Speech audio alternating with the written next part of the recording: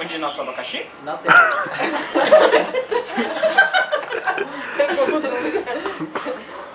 Qual é o pé de abacaxi?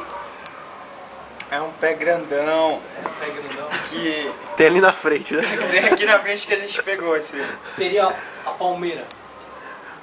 Não, é Abaca- algo parecido com a palmeira. Abacaxi. Nasce, É, abaca- nasce quantos abacaxi pro, pro pé?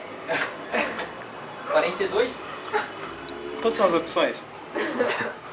Nenhum. Tem 3, nenhum. Depende da. De 1 a 10. 3, nenhum. Boa. Acredito De 1 a que são 10. importados. É, bom, Eu já acho que nasce na terra. Se for um abacaxi argentino, abacaxi argentino. Ah, Seria um michuruquinha azedo, né? Ele vai entrar na internet hoje pra saber como é que é o pé de abacaxi. posso, é, vou ter que.